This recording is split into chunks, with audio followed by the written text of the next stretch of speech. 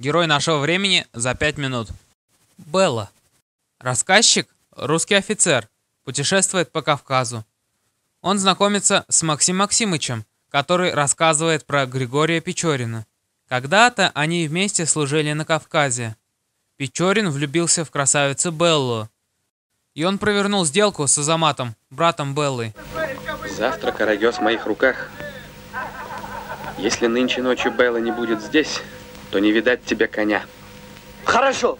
Обменяв коня разбойника Казбича на красавицу Беллу.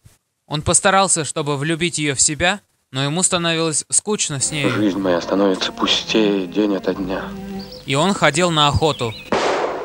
Но вот однажды разбойник Казбич похитил ее, а когда его догнали, он ранил ее и бросил.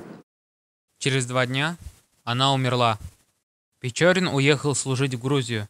Рассказав историю, Максим Максимыч прощается с автором.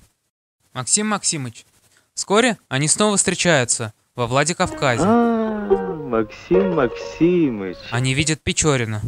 Он холодно ведет себя с Максимом Максимычем, быстро прощается и уезжает. Максим Максимыч обижен и решает отдать дневники Печорина рассказчику. Рассказчик узнает, что по пути в Персию Григорий Печорин умер, и рассказчик имеет полное право опубликовать его записи. Журнал Печорина. Тамань. Печорин в дневнике писал, что он приезжает в Тамань. Тамань очень бедный городишко. Слепой мальчик и девушка оказываются контрабандистами. Ночью они разгружали лодку с товарами сообщника Янка. Печорин говорит девушке, что ему известно все. Девушка зовет его на свидание на лодке и пытается утопить. Печорин спасся, а девушка и Янка уплывают, а слепой мальчик остается на берегу и плачет.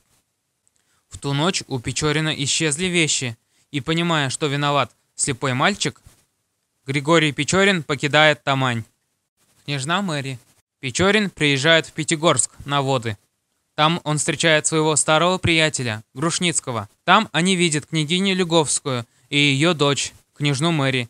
Грушницкий пытается привлечь ее внимание, а Печорин, наоборот, ее избегал, чем и вызвал интерес. Об этом он узнал у доктора Вернера, который его лечил. От скуки Печорин решил влюбить ее в себя, чем вызвал ревность Грушницкого.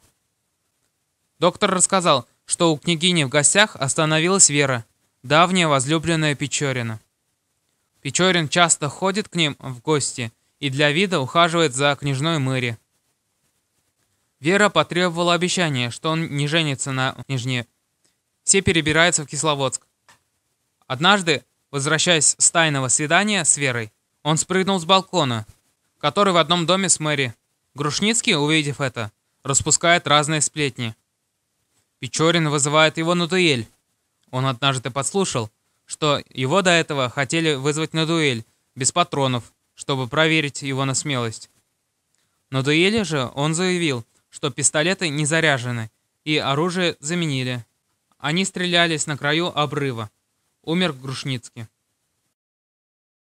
Узнав про дуэль, взволнованная Вера случайно рассказала мужу, что любит Печорина.